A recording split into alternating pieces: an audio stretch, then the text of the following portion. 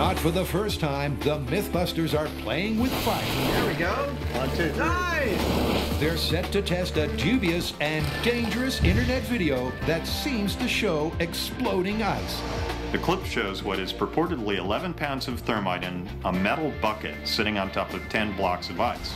They light the thermite, it does what we expect thermite to do, but then all of a sudden, poof, out it goes in a big explosion, flinging bits of metal everywhere. Now we're going to do exactly what they did and see if we get the same result. It's hard to believe that mixing fire and ice could ever end in a boom.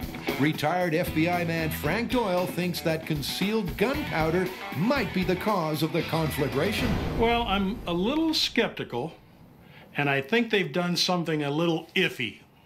All right. Well, there's only one way to find out. Frank sets the fuse. Adam sets the scene. Let's get behind the barrier and replicate a couple of uh, internet pyromaniacs.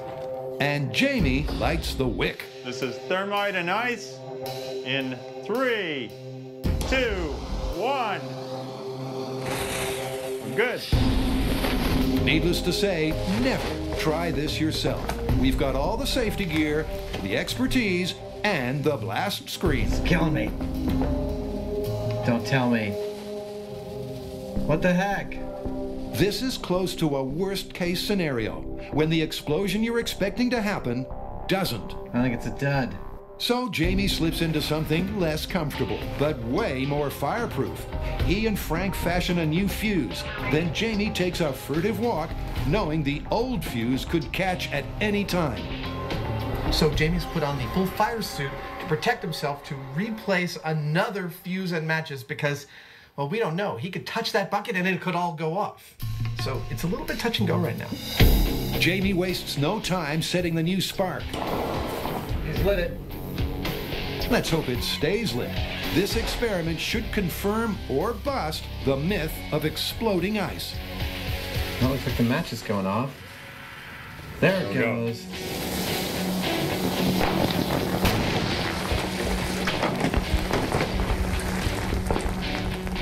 I'd say that was an explosion. I'm pretty sure that qualifies. And Adams found the source of that thunk that shook the blast screen.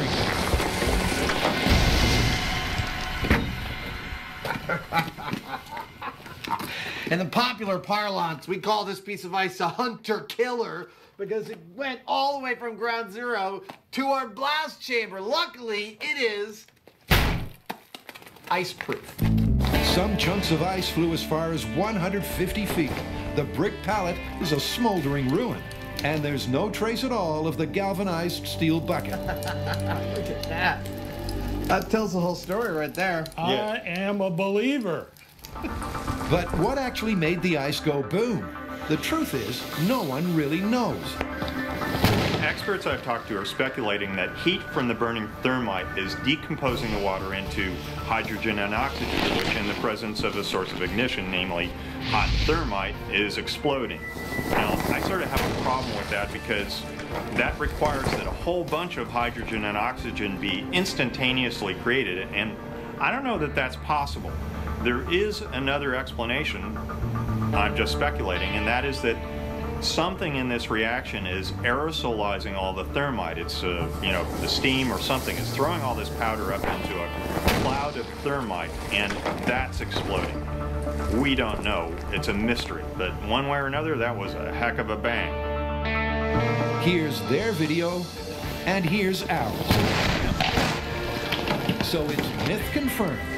No black powder, no hidden fireworks, just fire and ice.